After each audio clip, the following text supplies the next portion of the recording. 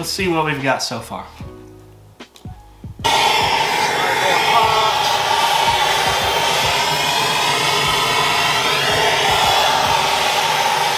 I think this was already recording. You have it recording already? yeah, that'll be like I just peed right there. Okay, I'll let it in.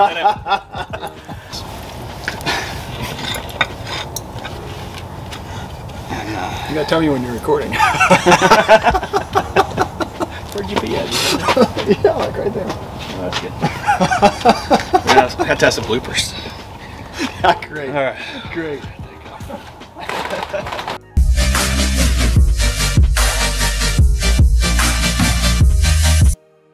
Well, welcome back to Cook'n Stuff. So we're gonna do some backstrap. My friend Robert came from Arkansas, and he's gonna show me how to cook deer backstrap. I've never cooked it. We got some duck too, and uh, we're just gonna figure that out. Yeah, duck's gonna be a curveball for sure. Yep.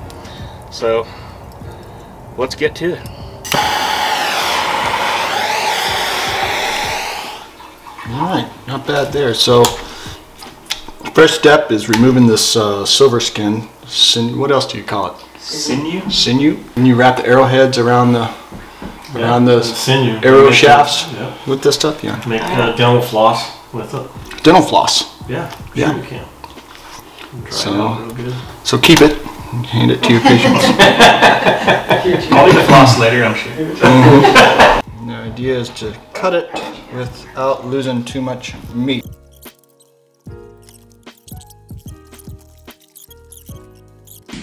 Don't like that. It didn't taste that good. Let me get that off.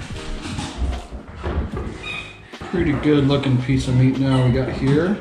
You know what? I don't have regular. I've got avocado and extra virgin.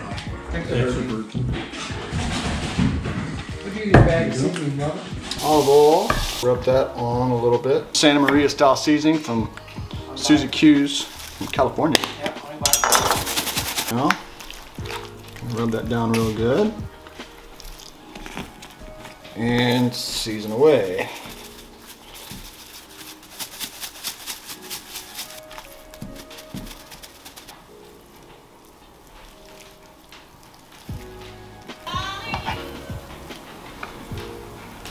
What kind of music are you gonna put put to this, John Luke? I don't know. Whatever he's inspired by after the season. Yeah. Yep, that's what I usually do. Okay. It ain't pretty, but it doesn't have to be. It all comes out brown in the end. That's right. Cookie sheet. It's gonna run everywhere. Um, Yeah, yeah. you just better. I know. I'm gonna be careful. Who killed the duck? Uh, some friends of mine that invited me to go duck hunting, and then I didn't go. Be cautious. There might be a few pellets in there as we Yep. eat it. And some feathers. And some feathers. Put it in front of the camera though. So there's some backstrap. Yeah. Did you go there? Down? There we go. Nice. Or, And then- just down in the camp. And the, and then the duck. We'll see how it looks like here in a bit. A little better. presentation. It's all about presentation. That's what makes the fish play. Okay, so we got our meat ready to go on the egg. Egg set at 300. We'll still uh, leave it on there for about 30 minutes. Flip it over. Leave it on there for another 30 minutes, and it'll probably be done. Going for an internal temp of about anywhere from 125 to 140, depending on how done you like it. But Medium don't worry about the internal temp. You can just say give it 50 minutes to an hour. So you want it on the back side, the big big chunks on the back side, because that's a hot spot, right?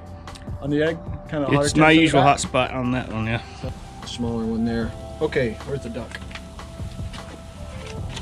So the duck we're just gonna lay around the edges and then take it off in about probably 30 minutes or so. We'll flip it in 15.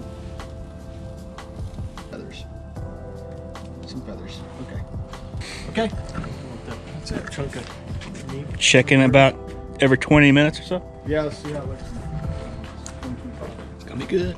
Let's check All it. right, let's see how we're looking. 20 minutes into the cook. Okay, the duck is looking incredible. Pretty darn good. smells great. Yeah, it is. Would you marinate it in? Um, okay, so it's a mix of uh, just kind of a guesstimated mix of Worcestershire sauce, Wor- yep. Worcester, Worcestershire? Worcestershire? That one Worcestershire. Okay, I gotta get that off the hot one. Look at that. See, Yeah, that's the back hot back there. there. Yep, that one's gonna be a little bit tangy. So, uh, yeah, backstrap's doing pretty good. Everything's doing good. We'll get the rest of the duck off in 10 minutes. So, Worcester sauce, uh, garlic, salt, pepper, maybe a little bit of Cavender's was in there. That's it. That's about it. Okay. Yeah. And then let it set overnight. Let's see. I'll get my Thermapen so we can start checking internal in a second. See how we're looking. Pretty dadgum good. Yeah, looks I think good. this is about done. That'll be a little more drizzly. Yeah, that's done. So- oh, yep, we're good. Time Ready to sear? Yep. All right, let's go get.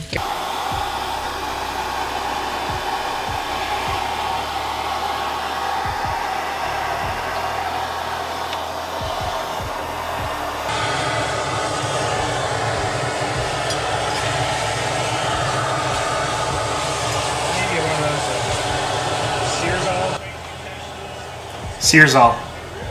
I want to get one of those Searzall things for the map torch. It's made for searing food. Works really well, a lot faster than just using the regular torch.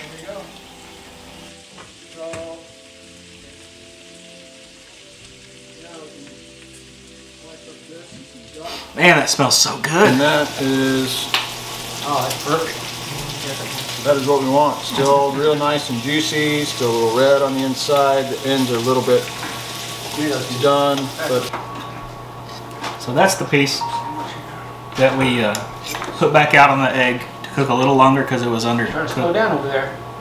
I'm just trying to see if this other piece is weak.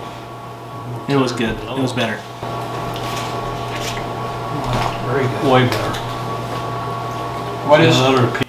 All right, so deer tenderloin on the left. We got the green beans and the potatoes I made. We got the bacon, the duck right in the middle. That duck was really good. We didn't get a lot of footage of us eating the duck. I didn't. I couldn't find it anyways. But uh, that duck was great. At least the ones that weren't um, overdone. So anyway, I hope you enjoyed that video. Uh, I had a lot of fun. Thanks again, Robert uh, and Ron and Larry for coming over and hanging out. It was fun. Um, we'll have to do it again sometime. Anyway, until next time, enjoy Cook'n Stuff.